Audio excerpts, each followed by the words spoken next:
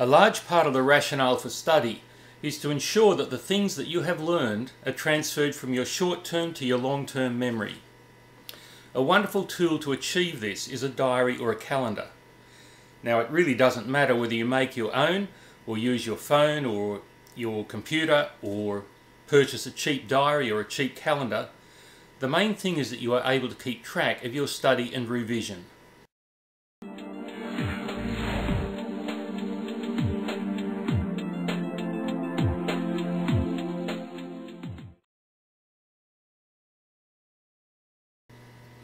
G'day, and welcome to Crystal Clear Mathematics, where it is easier than you think. I'm your host, Graham Henderson. So often I've had students say to me that they understood the work when they studied it, but two or three weeks later when they came to do the test, they had forgotten it. This doesn't mean that they were bad students.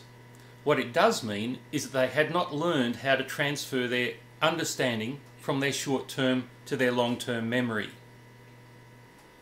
Now, wouldn't it be lovely if your final mathematics exam for high school consisted of questions like 2 plus 3 and naming basic shapes? You wouldn't study for this. You wouldn't need to cram the night before to get all this information in your short-term memory. The reason being that it's already in your long-term memory for you to recall at any time you wish. What I'm suggesting is that it would be lovely to have things like trigonometry, algebra, statistics, uh, calculus already in your long-term memory so that you can recall those things almost as easily as you can recall 2 plus 3. Now, there's no real secret how to achieve this. I'm sure your teachers and parents have said it to you over and over again. Uh, the secret is practice, repetition. Well, the problem is that not all repetition is beneficial and, and repetition can be quite boring. Unfortunately, another typical scenario is that students will cram before an exam only to forget that information within hours or days of completing the exam. Of course, the next time an exam comes, they repeat the entire process again, having to relearn and re-practice the same material and do it over and over and over and over again throughout their school career. How much nicer it would be if they could learn that material properly the first time. Finally, I have an efficiency question for you. If you had a choice between learning something in 20 minutes and learning something to the same level in an hour, which would you choose? Now, you're not stupid. Of course you're going to choose the 20 minutes, and so would I. I'd much rather learn something in 20 minutes and spend 40 minutes doing something else that I'd rather like to do. So we need an efficient strategy to ensure that we learn something well the very first time, that it will stay in our long-term memory so that we can use it whenever we wish. We would also like our practice to take less time, that is, be more efficient, and if possible be more interesting as well. So, how do we achieve all this? Well, what I'm about to share with you is not the complete solution. I, I will be sharing more about how to study in later videos. But memory researchers consistently talk about two facets of good learning.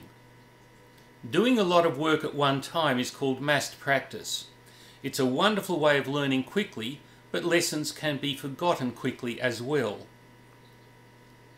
Spreading your work out over a long period of time is called distributed practice. And this is a wonderful way of getting the things you need to know to stay in your long-term memory. Good learning requires both massed practice and distributed practice. I'm sure you'd like to benefit from all this research and learn how to learn efficiently. And here's how. Every time you finish some mathematics homework or study, I want you to ask three questions. The first two questions are designed to ensure that you've done sufficient massed practice. Question number one, do I understand this sufficiently well? Before information or skills can be stored in your long-term memory, you must understand them. This sounds so obvious and so simple, But so many students stop working before they've achieved understanding. Or they do their homework with distractions, so they don't concentrate on developing understanding in the first place. Remember, the aim of your homework is not just to get it done and satisfy the teacher. The aim of your homework is to gain understanding and speed and mastery of your work. Your homework needs to be done with focus to achieve these goals. The second question is, can I solve these problems quickly enough? It's also vital that you develop speed when solving problems. Almost every test given in school is timed. That means that you race against the clock. I've watched students do very, very good work, but take five minutes to solve a two minute problem during their tests. Now, if your answer to either of these two questions is no, then you need to do something about it within 24 hours. You may spend some more time revising those questions on the night, or you may choose to chat with your teacher or some tutor the following day to get some further instruction or plan to do some further questions the following night. For some particularly difficult topics, you may have to do all three.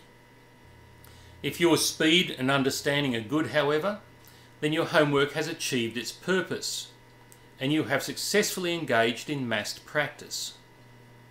Now, in order not to waste all this effort and have to relearn the material all over again at some later date, you must ask the third question and that is how long do I think I can go before I risk forgetting this work? This is a rather subjective question, but you're the best judge of how long you're likely to remember something. You will remember some topics more easily than other students, and sometimes you'll struggle with topics that other students will appear to find easy. So while your textbook and your workbook are still open, place a note in your diary or calendar on the appropriate date to do a certain number of questions from that exercise. Be careful to note the page number and exercise number and even recommend to yourself how many questions you should do. Now when that date arrives of course and you check your diary it'll remind you to do those exercises. When you come to do them one of two things will happen. You will remember how to do them or you won't. Now if you don't you have to go through the process of relearning the skill all over again. In itself, it's a good exercise, but it is time consuming, and we wish to avoid that. If you've timed your entry well, you'll be able to do the questions quickly and efficiently. And after you've completed that revision, you ask the same three questions over again. Do I understand the work? Can I do it rapidly enough? And how long before I'm likely to forget it? And make another note in your diary to revise it further down the track. This is the process of getting information from your short term to your long term memory, and you should find that the time period between your revisions will get longer and longer and longer. Now let's give an example. Suppose at school you've just learned to find the volume of cones and cylinders, and your teacher has given you 10 questions to do for homework. You go home and you complete the homework. If you feel that your understanding is not good enough at that stage, you really should try to find a few more questions to do. Or if you're really confused, chat with your teacher or a tutor the next day and do some further questions the following night. If you do understand the work and you're happy with your working speed, then ask yourself how long you think you can go before you forget the work. Now let's say you're confident you'll remember it for a week, but you're not quite so sure that if you had to do a test in three weeks that you would remember what to do. Then in your diary you should put a note, perhaps two weeks from now, to do a certain number of questions. If you're quite confident, you might only want to do two or three questions or four. Uh, if you're not so sure, you might want to do six or eight or ten of them. But that's what you put in your diary. Two weeks later, when you open your diary, you'll see the note and be reminded to do this exercise. Now, two possible things will happen. Either you will remember how to do the work or you won't. If you do, of course, you'll be able to do the exercises or the questions very, very quickly. Uh, if you don't, then you have to go through a relearning process, which is valuable, but it's time consuming, and we'd rather avoid that. Either way, when you've finished those exercises, you ask the same three review questions. Do I understand it well enough? Am I working rapidly enough? And how long before I think I'm likely to forget? Now, this time you might feel that you can go a month before revising your work. So, a month from now in your diary, you write a note to revise the work again with the same page number and exercise number and a suggested number of questions. Each time you repeat this process, of course, this time period will lengthen. My experience is that within two to five of those cycles, you'll be remembering the material for at least six months. And this is a sure sign that that material, that understanding, is now being stored in long term memory. And it means, of course, that you no longer have to cram before exams. So, now you have all four of those items in place for your sound study system. You will have your goal sheet, your timetable, your study graph, and your diary or your calendar. Learn to use those four things well, and you should have a strong study system in place. Now, there are other things for us to discuss, but those four things form the foundation for anything else that I'm going to share. In the next video, I'll explain how your memory works and how to cooperate with your memory when studying.